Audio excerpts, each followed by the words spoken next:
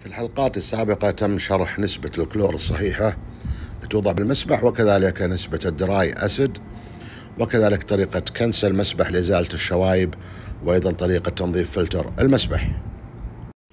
أنصح أصحاب المسابح يشترون ال kit هذا يباع عند شركات المسابح وليس بغالي يعني تقريبا 130 150 ريال كامل مع عدة قطرات وطريقة لتحليل الموية.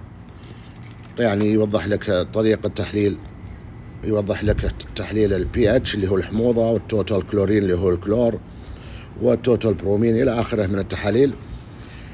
تقوم تعبي من الجهة اليسار لحد الخط هذا full واليمين لحد الخط هذا.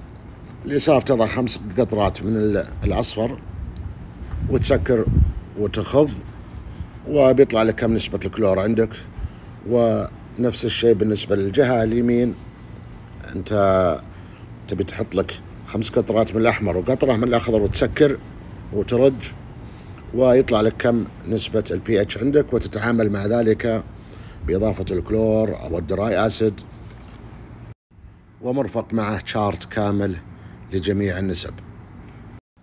وكذلك الملصق اللي في العلبة من جوا يوضح لك طريقة تحليل الماء بشكل مفصل. ختاما أنصح بتحليل ماء المسبح بشكل مستمر.